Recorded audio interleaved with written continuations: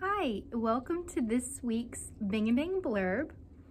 I'm here with Bing-a-Ding and we're going to play a game today called Fact or Fiction. So I'm gonna say some statements and then I'm gonna let you know whether it is a factual statement, yes, what I'm saying is true about bearded dragons, or it's a fiction, which means no, not true. And then I'll give you some actual factual information after that statement. So let's go with our first one.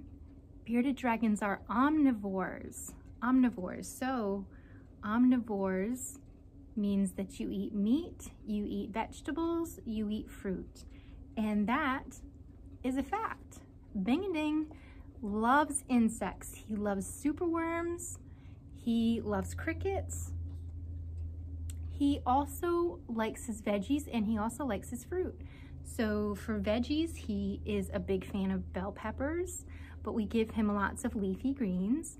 And um, for fruits, he likes pineapple, though we try all kinds of things, blueberries, strawberries, mango, banana, apple, all kinds of stuff. So we feed him a wide variety of food, um, but he can be a bit picky sometimes. So we just keep playing to see what things he'll enjoy. Just, just like people, he has different tastes in food. Um, so bearded dragons belong to a genus of reptiles called Pogonas. And that is a fact. They do. Um, a Pogona is kind of a fancy name for bearded dragon. Um, bearded dragons are related to other types of dragons like Komodo dragons and frilled dragons. That is fiction. Those animals are actually not related. Komodo dragons are giant, large creatures. Um, and not related to bearded dragons. Frilled dragons, look them up, they're very cool. Um, when they want to intimidate or scare things away, they, they kind of put their necks out and they frill this, this beautiful um, neck piece out and, and show it to the public to be intimidating and scary. Very cool, but not related to bearded dragons. Um, bearded dragons produce venom fact, they do, they do, but it doesn't hurt humans. Um, it's meant for very, very, very tiny animals, very, very small insects, um, and it won't at all hurt humans. So let's see what else we have here. Bearded dragons originate from deserts in Australia. Um, that is a fact. They do, but they also live in grasslands and they live in the bush. Um, bearded dragons are adaptable and they can live in lots of types of places. So it doesn't just have to be dry, sandy, hot places. It can be um, places that have lots of vegetation um, and lots of different types of uh, ground. Bearded dragons can get up to three feet long. All right, that one is not true. That is a fiction. They usually range from somewhere between 16 and 24 inches.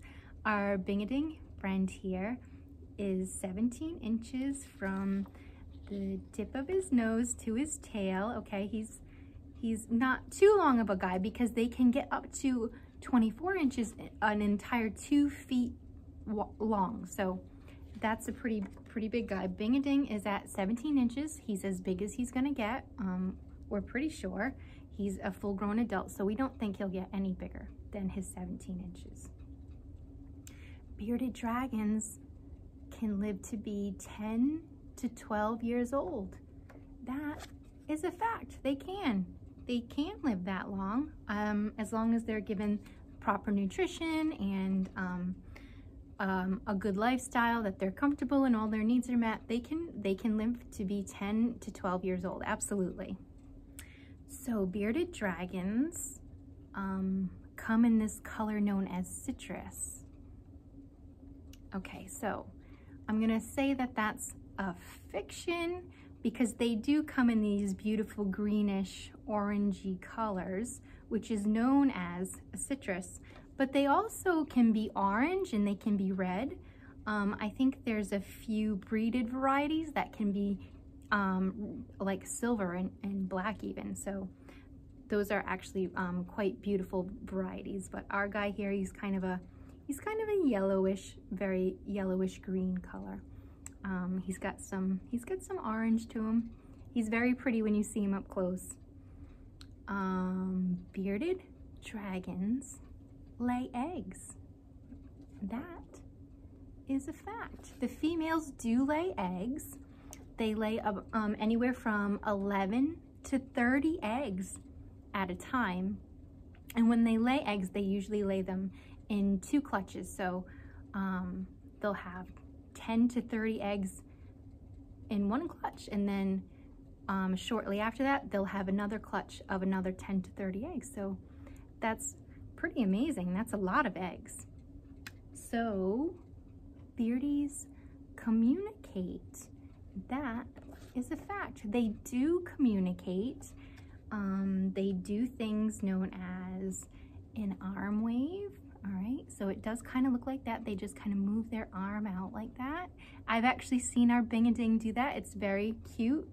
Um, they usually do that to signal someone to say, hey, I'm here, please don't hurt me. So they just want to let maybe other predators um, or things they might be afraid of uh, know that, hey, I'm here. I'm not, I'm not here to hurt you. I just want you to know I'm here. Don't hurt me.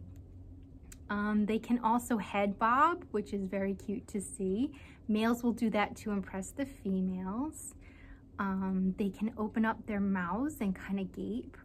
They, they also inflate their beard. So this area right around his um, neck here, this is this would be where his beard is, and they kind of like poof it up. And they do that to appear bigger and more intimidating and to tell um, everyone else to, okay, you need to back away from me now. I've had enough. Like, I'm all poofed up. I'm as big as I can get. I'm scary. I'm intimidating. You need to step back. So they do communicate. You just have to watch and see what they're trying to communicate um, carefully.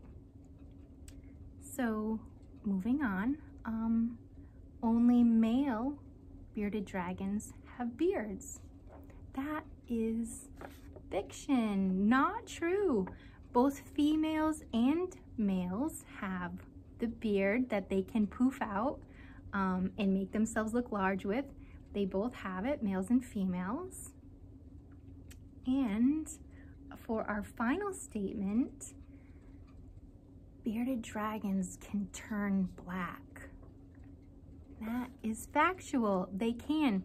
Um, their coloring gets darker very dark so that they can absorb more heat and sunlight and take in more nutrients from their environment so they can darken up to make themselves feel healthier and absorb the sunshine, which they love to do. They love to just sit and soak in the sun. So that was our game of fact and fiction um, with Bing-a-Ding this week. I hope you enjoyed that. I hope you learned a few things and we'll see you next week. Bye.